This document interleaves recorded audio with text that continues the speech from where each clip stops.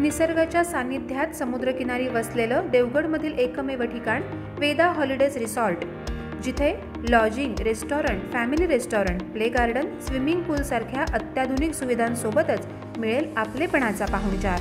अवश्य भेट द्या आणि आम्हाला आपल्या सेवेची संधी द्या.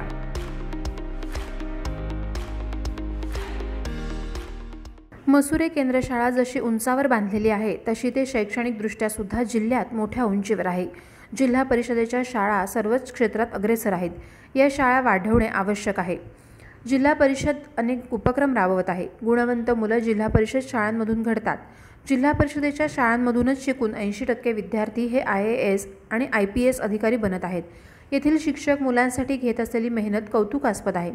मसुरे गाव सर्वच क्षेत्रात अग्रेसर आहे. येथील सर्वच मुलांनी स्पर्धा परीक्षांचा अभ्यास करून शासकीय सेवेतील अधिकारी बनावं असं आवाहन मुख्य कार्यकारी अधिकारी राजेंद्र पराडकर यांनी मसुरे येथे केलं.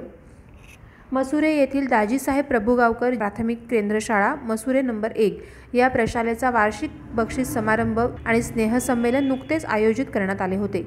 यावेळी ते बोलत होते.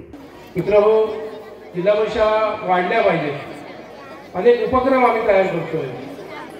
आंबोकर साहेब असतील आमच्या सन्मान्य परब मॅडम आहेत.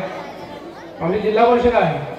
अनेक उपक्रम आम्ही वेगवेगळे घेतोय की जिल्हा परिषदेची शाळा ऊर्जितावस्थेत यायला पाहिजे. त्या गोरगरिबांची शाळा म्हणून ओळखल्या जातात. आणि त्या अशा प्रकारचे विविध उपक्रम राबवल्यानंतर अत्यंत चांगल्या प्रकारची मुलं त्या ठिकाणी शिक्षण घेतात ते घडतात असा माझा अनुभव आहे.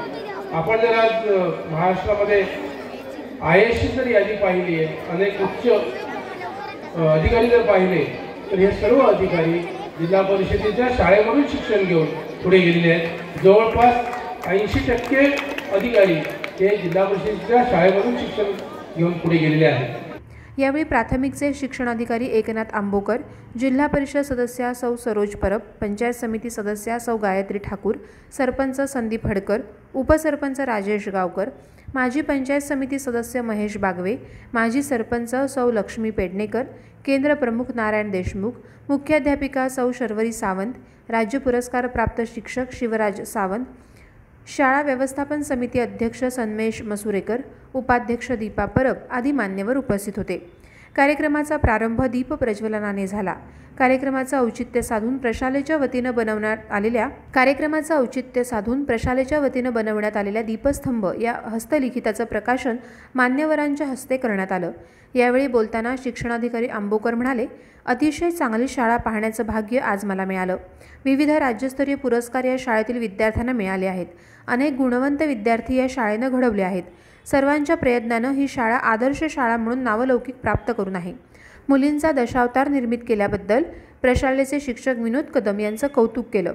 तर असे शाळेत विद्यार्थी या शाळेने निर्माण केलेले आहेत. त्याबद्दल पुन्हा एकदा शिक्षकांचं अभिनंदन. मी विशेष विनोद कदम सरांचं अभिनंदन करेन की त्यांनी मुलींचं दशावतार त्या मुलांमधली मुलींमधली जी कला आहे ती कला त्यांच्यामध्ये रुजवली आणि त्यांच्यातलं ते पोटेन्शियल बाहेर काढलं.